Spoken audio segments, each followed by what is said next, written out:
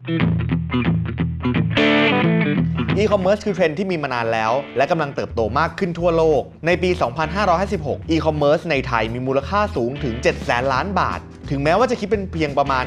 0.2%ของการค้าปลีกทั้งหมดเท่านั้น แต่ก็มีสัญญาณนะครับว่าจะขยายตัว ไลฟ์สไตล์ของผู้คนทุกวันนี้เปลี่ยนไปเยอะนะครับ เราติดมือถือกันงอมแงม Price Waterhouse Cooper เนี่ยเขาไปสำรวจผู้บริโภคออนไลน์ 15,000 คนใน 15 ประเทศครับ แล้วเขาก็พบว่านักช็อปออนไลน์เนี่ยมีแนวโน้มที่จะซื้อของผ่านทางมือถือแล้วก็แท็บเล็ตกันมากขึ้น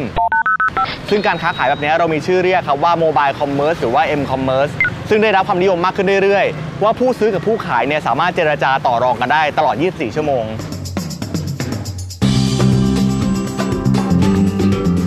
ทั้ง e-commerce แล้วก็ m-commerce เนี่ยเป็นฐานที่มั่นสำคัญสำหรับผู้ประกอบการจิ๋ว